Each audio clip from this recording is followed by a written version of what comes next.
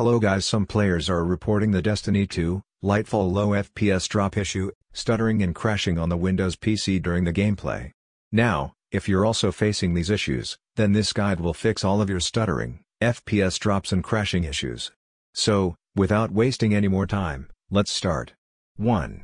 Update graphics drivers.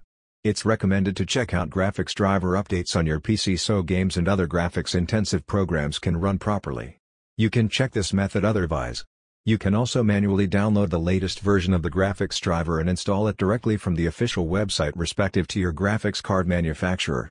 NVIDIA graphics card users can update the GeForce Experience app via the NVIDIA official site.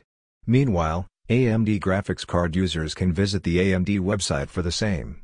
2. Run the game as an administrator. You should also run the Destiny 2, Lightfall game executable file as an administrator to avoid user account control related privilege issues. To do this, right-click on the Destiny 2 Lightfall exe shortcut file on your PC, select Properties. Click on the Compatibility tab. Make sure to click on the Run this program as an administrator checkbox to checkmark it. 3. Close background running tasks. Sometimes unnecessary background running tasks or programs can also consume a higher amount of CPU or memory resources on the system which may cause crashes, lags, stutters, FPS drops, etc. issues whatsoever. To do that, open the Task Manager.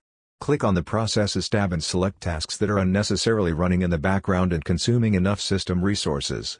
Click on End Task to close it. Do the same steps for all unnecessary tasks one by one. Once done, Restart your system to apply changes. Click on Apply and select OK to save changes. 4. Set high set priority for Destiny 2 Lightfall. Start Task Manager. Go to the Details tab, right-click the desired process, and choose Set Priority and select High Value.